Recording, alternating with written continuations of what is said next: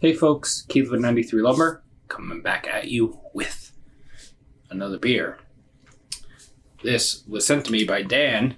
We did a little beer trade. Go watch the uh, unboxing video.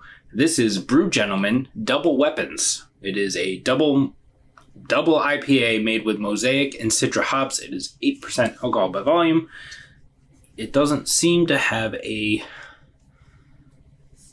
I don't know if they do I'm assuming they don't do these as like um since it's got like a label and stuff on it.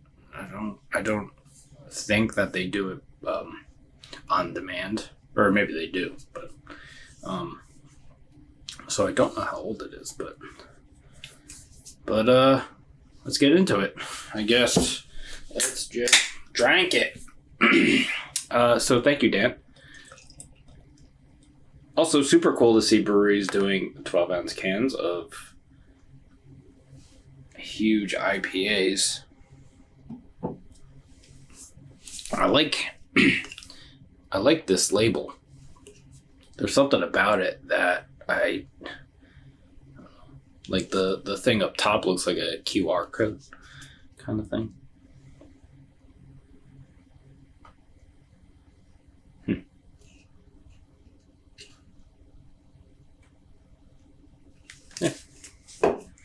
Anyway. Yeah, that's a that is a dark orange. That is that looks like orange juice. Absolutely. Get a little bit of shadow through it. Yeah, that looks like it's a little darker in the middle. Finger of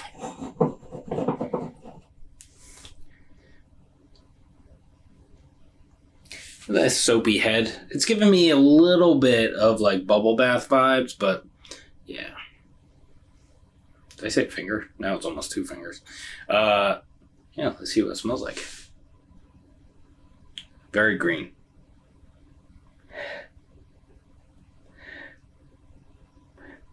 There's almost like a mintiness to it.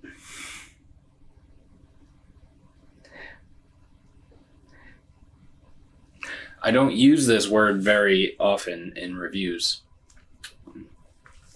uh, but it is a bit dank, I believe is the proper term. Yeah, citrus, uh, a little bit of um, like uh, pithy citrus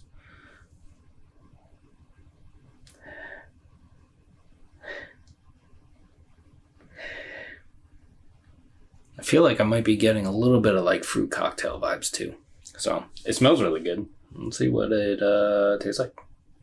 Cheers. Thanks, Dan.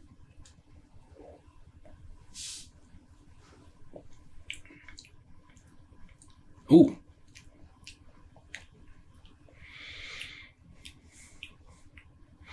What is that?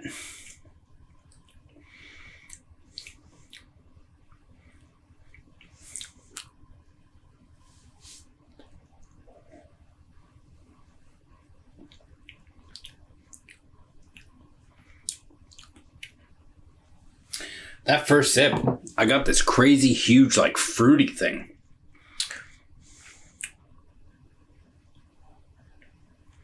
Kind of reminded me of um,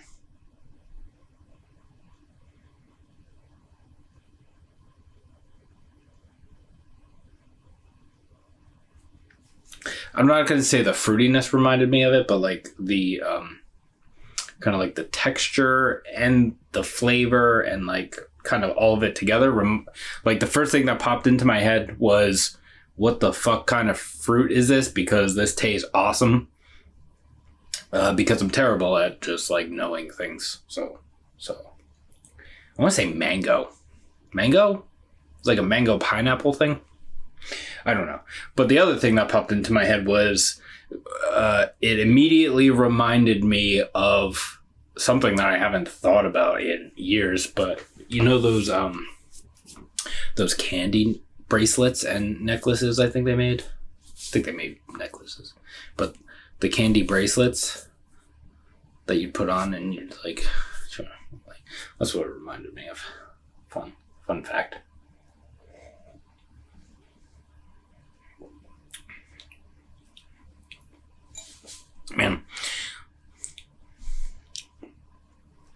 This beer is kind of awesome and kind of disappointing because that fruit thing isn't hitting the same way as it is as it did in that first sip. I mean, it's still the fruitiness is still there, but um, it uh.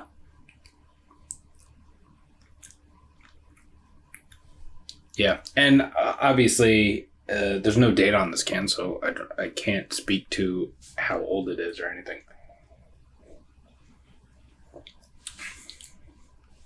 But after that first sip, that that fruitiness kind of takes a back seat, and that bitterness is kind of huge. Like, uh, pithy, citrusy, with that. It doesn't. It it comes off more like. I'm actually glad I said it because I wasn't going to say it, but uh, the fruit cocktail thing, that little bit of fruit cocktail thing in the nose that I got, that's how that fruitiness is coming off now. Uh, after all the sips after that first sip, that first sip, it, it was a huge. I want to say it was mango, pineapple, tropical. I'll just say tropical kind of thing. Awesome. I'm getting a little bit of. I'm getting a little bit of it of that fruity thing, like in the aftertaste now. But holy shit, that that this is I don't think I've had a Brew Gentlemen beer before, I want to say. Or at least I don't think I've had an IPA from them. I don't know. But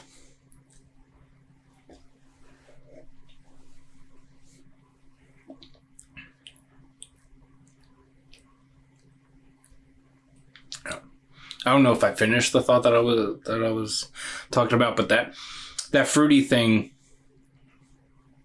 now kind of comes off like a like just like a generic fruit cocktail kind of in the back of it and that bitterness and that pithiness kind of take over um compared to that first sip obviously. Man. Mm, I want that first sip again. I want it back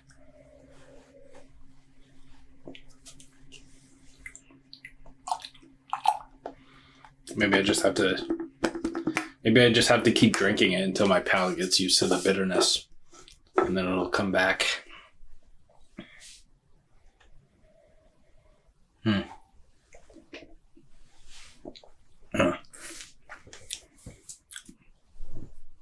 Hmm. I feel like I've had, like, not a ton, but like beers that I went into thinking, yeah, this is just going to be like another thing.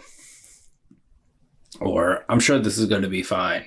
Whatever. Have have really like driven it home for me. I'm going to take a sip of water.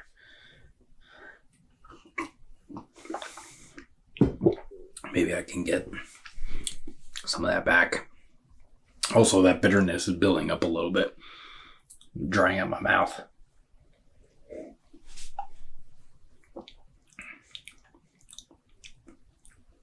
Hmm. It didn't come back. It came back a little bit, but not not how it was when I first drank it. But yeah, uh, this is awesome, and it's eight percent. Uh, I'm getting like a little. As far as the alcohol goes, I am getting a little bit of like a sensation around my mouth that is telling me that I am drinking something that's higher alcohol. But as far as taste, as far as like, I'm not really getting a warming sensation or anything like that. It just, I'm not even slurring my words or anything. Um, uh, but yeah. Yeah.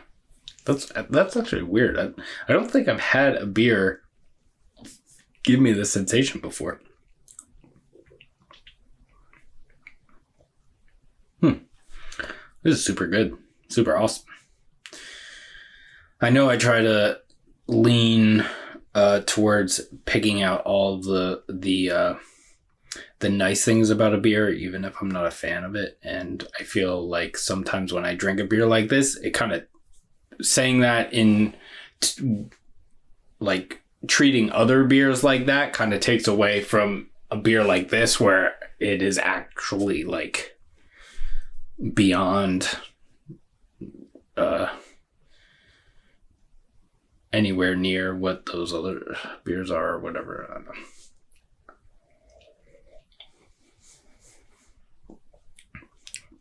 Thank you, Dan. Man.